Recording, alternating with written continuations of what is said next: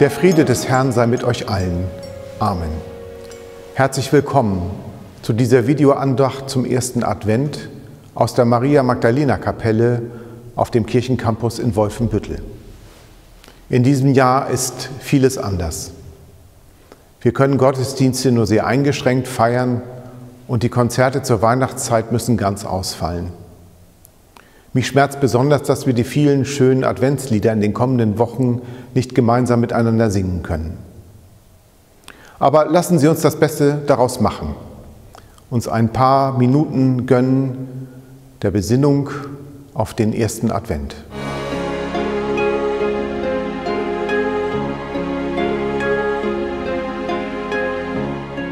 Hört Worte aus dem 24. Psalm. Machet die Tore weit und die Türen in der Welt hoch, dass der König der Ehre einziehe. Wer ist der König der Ehre? Es ist der Herr stark und mächtig, der Herr mächtig im Streit. Machet die Tore weit und die Türen in der Welt hoch, dass der König der Ehre einziehe. Wer ist der König der Ehre? Es ist der Herr Zebaoth, er ist der König der Ehre. Ehre sei dem Vater und dem Sohn und dem Heiligen Geist, wie es war am Anfang, jetzt und alle Zeit und von Ewigkeit zu Ewigkeit. Amen.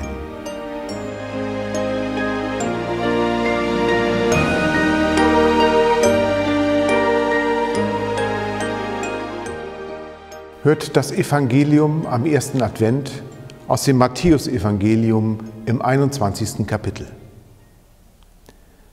Als sie in die Nähe von Jerusalem kamen, nach Bethphage an den Ölberg, sandte Jesus zwei Jünger voraus und sprach zu ihnen, Geht hin in das Dorf, das vor euch liegt, und sogleich werdet ihr eine Eselin angebunden finden und einen Füllen bei ihr. Bindet sie los und führt sie zu mir. Und wenn euch jemand etwas sagen wird, so sprecht, der Herr bedarf ihrer, sogleich wird er sie euch überlassen. Das geschah aber, damit erfüllt würde, was gesagt ist durch den Propheten, der da spricht, sagt der Tochter Zion, siehe, dein König kommt zu dir sanftmütig und reitet auf einem Esel und auf einem Füllen dem Jungen eines Lasttiers. Die Jünger gingen hin und taten, wie ihnen Jesus befohlen hatte und brachten die Eselin und das Füllen und legten ihre Kleider darauf und er setzte sich darauf. Aber eine sehr große Menge breitete ihre Kleider auf den Weg, andere hieben Zweige von den Bäumen und streuten sie auf den Weg. Das Volk aber, das ihm voranging und nachfolgte, schrie und sprach, Hosianna, dem Sohne Davids, Gelobt sei der da kommt in dem Namen des Herrn, Hosianna in der Höhe. Und als er in Jerusalem einzog, erregte sich die ganze Stadt und sprach, wer ist der? Das Volk aber sprach, das ist der Prophet Jesus aus Nazareth in Galiläa. Amen. Meine sehr verehrten Damen und Herren, liebe Schwestern und Brüder, der November ist ein schwieriger Monat. Die Tage sind dunkel, kalt und grau und werden noch immer täglich kürzer. Wer im Wald spazieren geht, läuft durch Laubhaufen hindurch und an kahlen Bäumen entlang. Das ist schon in normalen Jahren ein echter Angang. In diesem Jahr kommen die Auswirkungen der Corona-Pandemie hinzu. Private Kontakte und Familienfeiern sind stark eingeschränkt. Die Besitzer von Gaststätten, Restaurants, Hotels, Kinos, Tourismusunternehmen, Sport- und Freizeiteinrichtungen, aber auch Schauspielerinnen und Schauspieler, Musikerinnen und Musiker und andere Kulturschaffende stehen vor großen wirtschaftlichen Problemen. Wer jetzt Arbeit sucht, hat es schwer, eine Stelle zu bekommen. Wie lange die Beschränkungen noch aufrechterhalten werden, wann Impfstoff kommt und wie lange es dauert, bis wir wieder zur Normalität zurückkehren, ist noch völlig offen. Wir werden bis ins Frühjahr hinein mit Einschränkungen leben müssen. Die Adventswochen stellen uns dabei in diesem Jahr vor besondere Herausforderungen.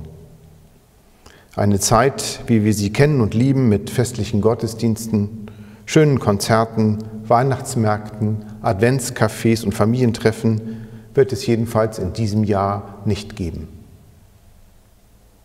Trotzdem sollten wir uns, so meine ich, nicht beklagen, denn vieles ist ja nach wie vor möglich. Einen Gottesdienst mitzufeiern in der Kirche, im Radio oder im Fernsehen, die Wohnung zu schmücken, am Adventskranz nach und nach die Kerzen zu entzünden und sich auf die eine oder andere Weise Zeit zur Besinnung zu nehmen. Besinnung, das ist etwas, das das eigene Tun und Lassen unterbricht. Man tritt zurück und nimmt sich selbst und sein Leben in den Blick. Und dabei wird einem ja immer beides bewusst. Was mir das Leben an Glück beschert und was es auch mir an Lasten auferlegt. Was mich froh stimmt und was mich traurig macht. Wo alles in Ordnung ist und wo ich eigentlich etwas verändern müsste. Vor allen Dingen aber weitet sich durch die Besinnung der Blick hin auf das, was andere von mir brauchen.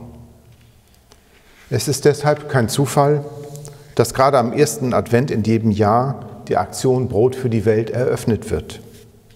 Unter diesem Titel sammelte die evangelische Kirche im Jahr 1959 zum ersten Mal Geld für 12 Millionen Menschen in Indien, die unter einer Hungersnot litten.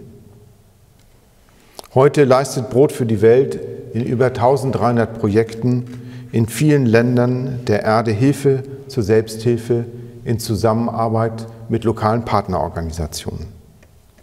Neben der Ernährungssicherung werden Maßnahmen in den Bereichen Bildung und Gesundheit, Demokratie, Menschenrechte, Gleichstellung von Mann und Frau und Umweltschutz gefördert.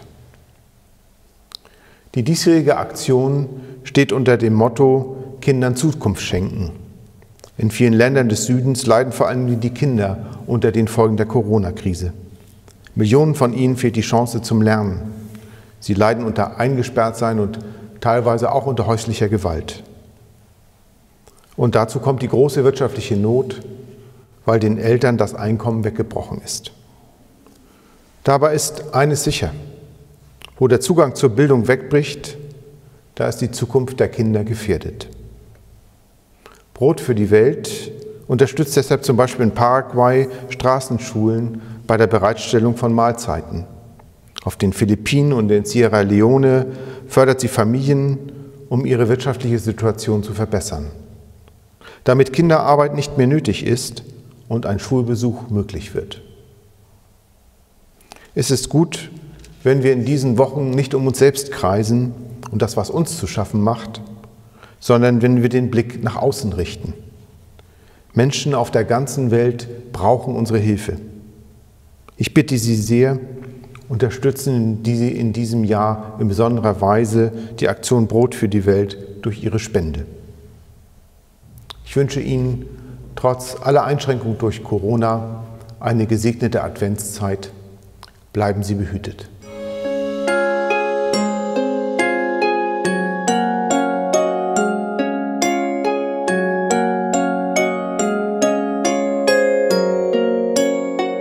Lasst uns beten. Wohin du kommst, Gott, da kehrt Frieden ein.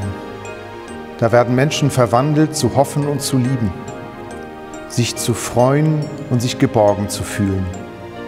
Darum bitten wir dich, komm auch zu uns. Komm zu allen, die erschöpft sind und abgestumpft, die nicht mehr an deine und unsere Liebe glauben können, komm auch zu uns.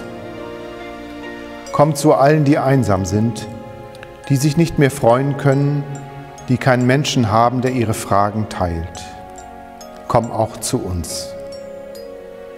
Komm zu allen, die ratlos sind und verzweifelt, die leiden und keine Hoffnung mehr haben, die sich ausgestoßen fühlen und nach Gemeinschaft sehnen. Komm auch zu uns.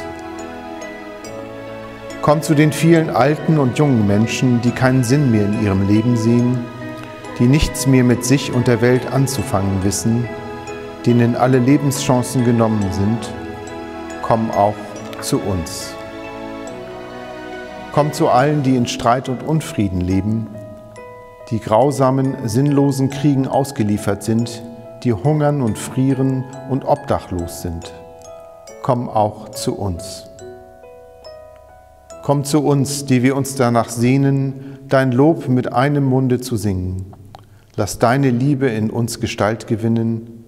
Komm auch zu uns. Komm zu uns und erfülle uns mit deinem Frieden. Dir sei Ehre in Ewigkeit.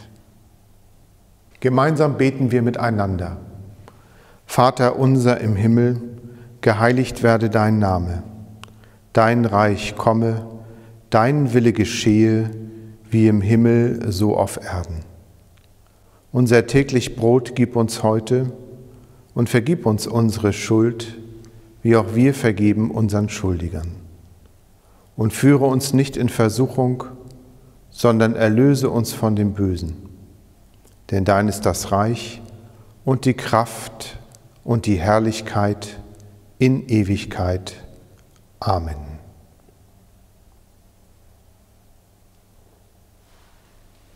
So geht nun in die kommenden Wochen der Adventszeit unter dem Segen Gottes. Der Herr segne dich und behüte dich.